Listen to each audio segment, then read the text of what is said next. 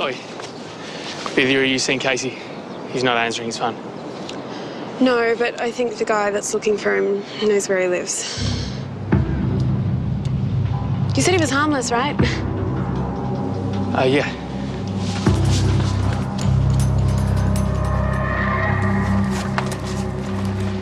Where are you going now? Just, I'm just gonna get my wallet. Just-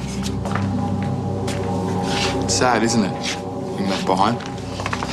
This isn't gonna happen tomorrow. Sorry. So don't say sorry because you're not going anywhere. Just tell him you don't want to be with him. Nelson knows how I feel. Drop the act. Okay, sooner or later this idiot is gonna figure it out, and then what? What's he talking about?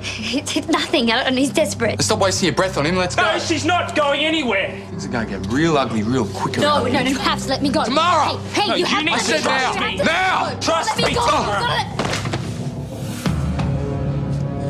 You've. Guess you needed me after all.